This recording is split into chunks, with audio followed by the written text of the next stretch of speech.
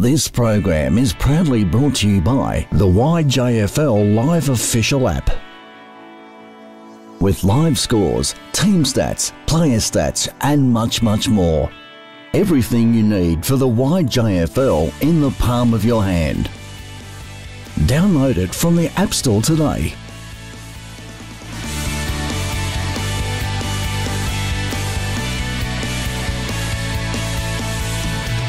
Hello and welcome to Complete Sports Management. I'm Wade here with Fitzroy coach Robin McKenzie.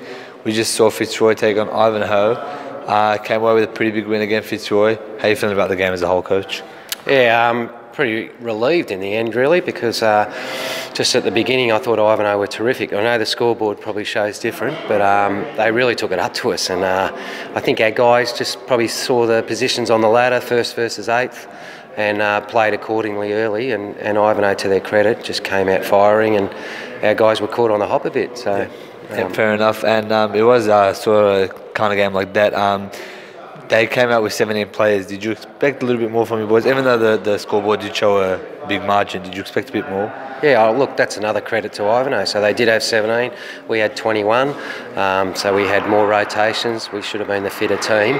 Um, yeah, they were a bit flat-footed, our guys. So uh, that was a bit of a concern early. But um, as I said, it was really hard to motivate them, and it shouldn't be because uh, the, the, boys uh, know they're in the finals now. But um, once again, full credit to uh, Ivanhoe. Yep, and um, you had some uh, outs today. Uh, the biggest one of all, uh, Brazier, probably.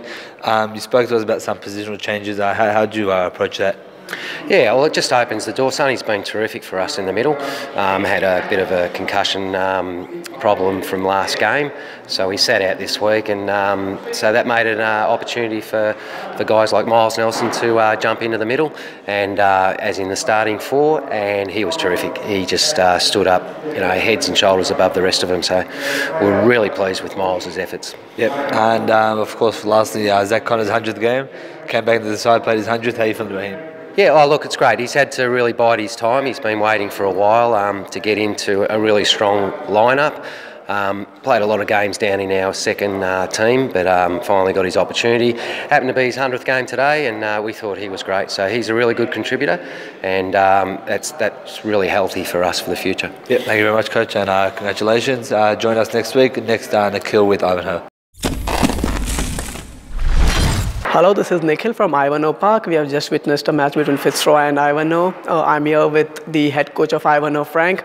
Uh, Frank, uh, once again, uh, 17 players on the pitch, but today was a very good performance, wasn't it, though? Yeah, look, we, we spoke about it after the game. We're really happy with, with our efforts all game. We, we came with an intensity to put some pressure on them.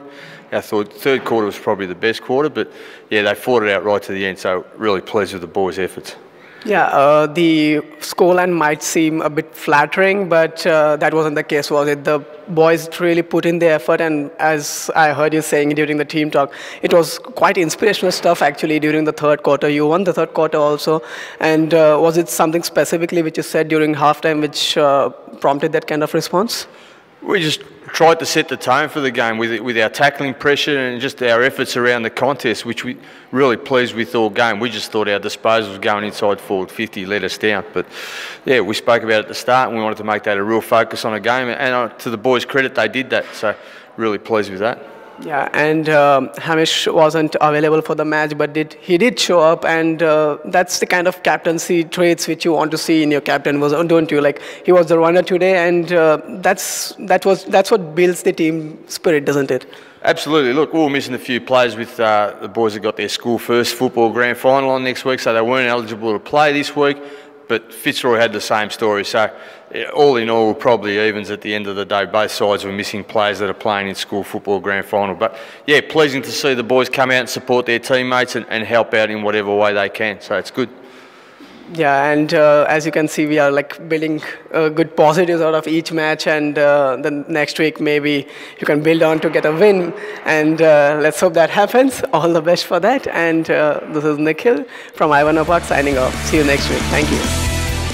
This has been another complete sports management production.